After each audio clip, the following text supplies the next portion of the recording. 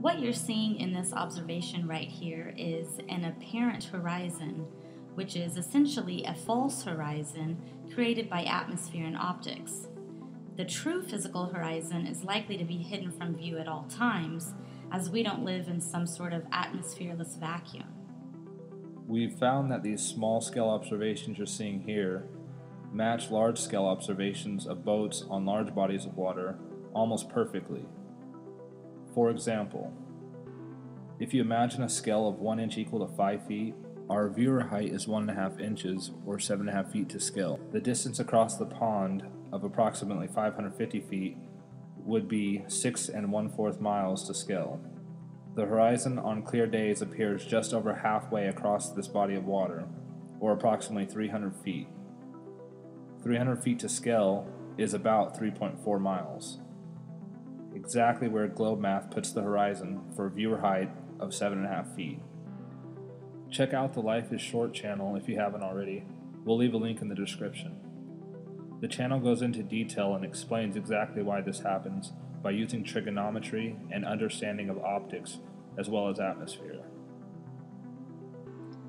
Like we can see here, days in which there's a significant temperature difference between the water and the air above it, we get a mirage. You can see that the RC boat disappears bottom first as it moves away, and that by raising the camera, the objects come back into view top down. The argument for relative curvature in these observations is null and void because at this viewing height, the horizon should be approximately 2,500 feet away, and there should be no obstruction due to curvature. Check out this day, where the RC boat appears to be floating above the horizon.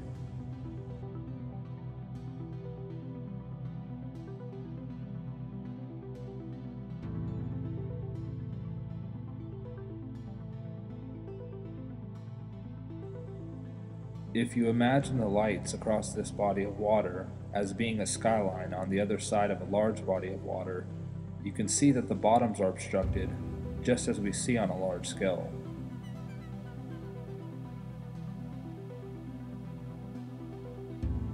Even on a day such as this, when there are no waves, the RC boat still disappears bottom first as it moves away. And once again, raising the camera height brings the boat back into view.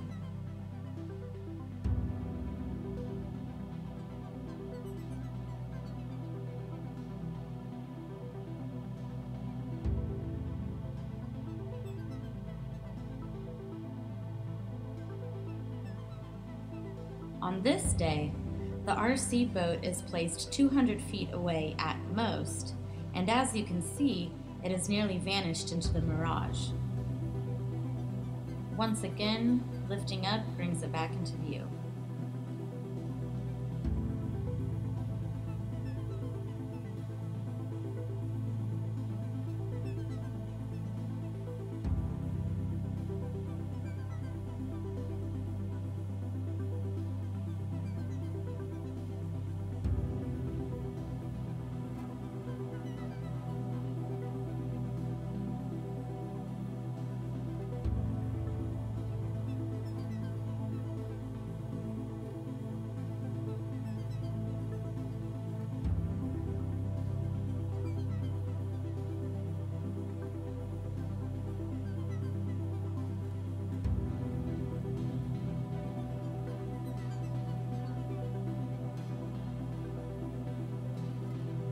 Here's a clear day and you can see the sail of the boat rising above the apparent horizon. On this evening, we attached a light and the light appeared to sail below the horizon.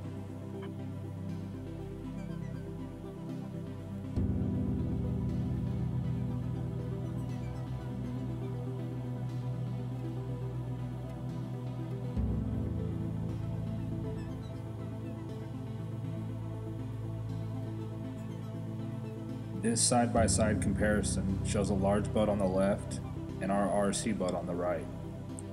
Notice the similarities. When we see objects at such faraway distances that they should be hidden by curvature, then in order to accept that the surface is indeed curved, one must believe that the objects and the horizon itself are being projected back around the curve and into the viewer's line of sight.